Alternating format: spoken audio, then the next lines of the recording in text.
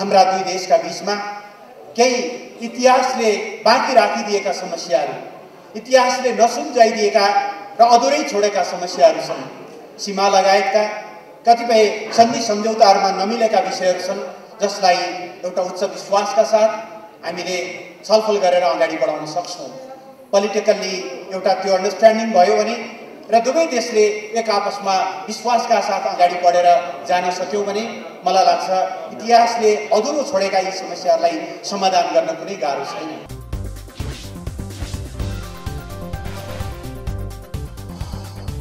हामी सबैले बुझ्नु जरुरी छ दुवै देशको हित दुवै देशको साझा स्वार्थ एउटा घनिष्ठ सम्बन्धमा नै छ। नेपालका निम्ति भारत एउटा अपरिहार्य मित्र हो। त्यसै गरी भारतका लागि नेपाल पनि त्यस्तै एउटा अपरिहार्य मित्र हो। धेरै कुराहरूमा हामी अन्तर्निर्भरतामा बाँचिरहेका छौँ।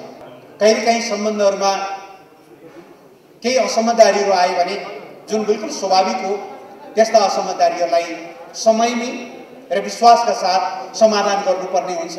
नेपाल भारतसँग कुनै पनि यस्ता समस्या जुन छन् तिनीहरूलाई छलफलद्वारा विश्वासका आधारमा समाधान गर्न नसकिने कुनै पनि विषय छन् भन्ने हामी ठान्दैनौँ।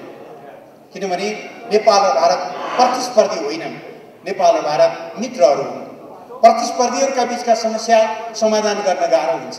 मित्रहरूका बिचमा समस्या छन् भने तिनीहरूलाई गाह्रो गर्न समाधान गर्न कुनै पनि गाह्रो हुँदैन। कोभिड विरुद्धको हाम्रो लडाइँमा भारतले विभिन्न ढङ्गले सहयोग पुर्याउँदै आएको छ।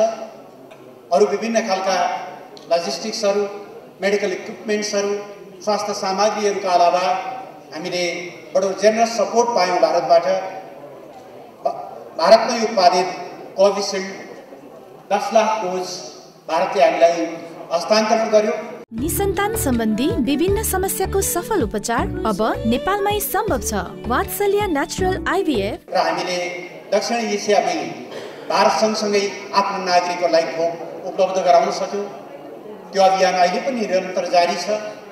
दुई देशका बिचमा अठार सय किलोमिटर लामो खुला सिमाना छ। खुला सिमानाबाट नागरिकहरूको आवत जावत तीव्र हुने हुनाले दुवै देशले मिलेर मात्रै यो महामारीको विरुद्ध हामी अगाडि बढ्न सक्छौँ।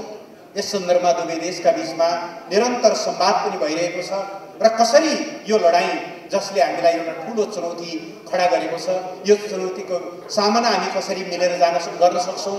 भन्ने बारेमा हामीले छलफलहरू गरिरहेका छौँ सहकार्यहरू गरिरहेका छौँ।